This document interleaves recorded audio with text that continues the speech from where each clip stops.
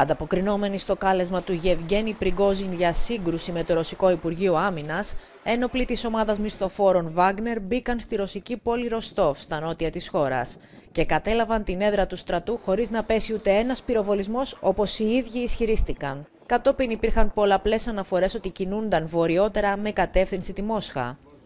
Η δραματική πρόκληση των μαχητών του Πριγκόζιν συνοδεύτηκε με μεγαλόστομες αναρτήσεις στα μέσα κοινωνικής δικτύωσης. Διαμήνυσαν μάλιστα πως σύντομα η Ρωσία θα έχει νέο ηγέτη. Ο Ρώσος Πρόεδρος Βλαντίμιρ Πούτιν απίθυνε διάγγελμα στους πολίτες καταγγέλλοντας προδοσία, εξέγερση και θανάσιμη απειλή, χωρίς όμως να κατονομάσει ποιους εννοεί, και προανήγγειλε σκληρή τιμωρία. Απαντώντας, ο Πριγκόζιν είπε πως η ομάδα του δεν είναι προδότες αλλά πατριώτες που μάχονται για το μέλλον της πατρίδας τους και κατήγγειλε διαφθορά, ψεύδι και γραφειοκρατία. Στη Μόσχα τα μέτρα ασφαλείας έχουν ενταθεί. Τα σημεία ελέγχου στους δρόμους που οδηγούν στη ρωσική πρωτεύουσα έχουν αυξηθεί και σύμφωνα με πληροφορίες έχουν επιβληθεί περιορισμοί αντιτρομοκρατικού χαρακτήρα.